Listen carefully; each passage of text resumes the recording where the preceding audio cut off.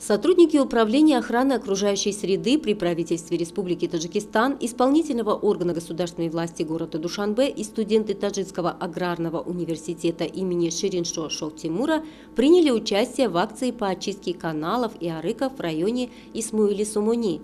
Кроме сбора мусора и очистки от сорняков территории, вдоль дороги была вскопана земля вокруг деревьев и кустов, чтобы дать возможность растениям нормально развиваться – Подобные акции оказывают благотворное влияние на чистоту окружающей среды, что в свою очередь оказывает благотворное влияние на здоровье и состояние человека.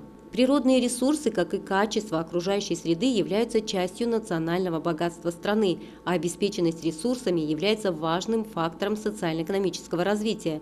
Соблюдение чистоты в столице – это гражданский долг каждого его жителя, так же, как соблюдение общественного порядка и санитарно-гигиенических норм.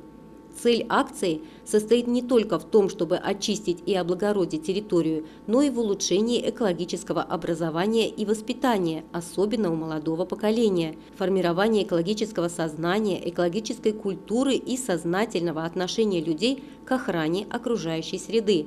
Кроме того, подобные мероприятия повышают культуру горожанина – Данная акция не зря проведена в Международный день Матери Земли, ведь этот день призван напомнить, что каждый из нас обязан своим существованием нашей планете и ее экосистемам. В этот международный день все люди мира стремятся обеспечить гармонию человека и природы. В День Земли в разных странах по традиции звучит колокол мира, призывая людей Земли приложить усилия к защите мира на планете и сохранению красоты нашего общего дома. Зумрат Файзиева, Рано Азизи, Новости.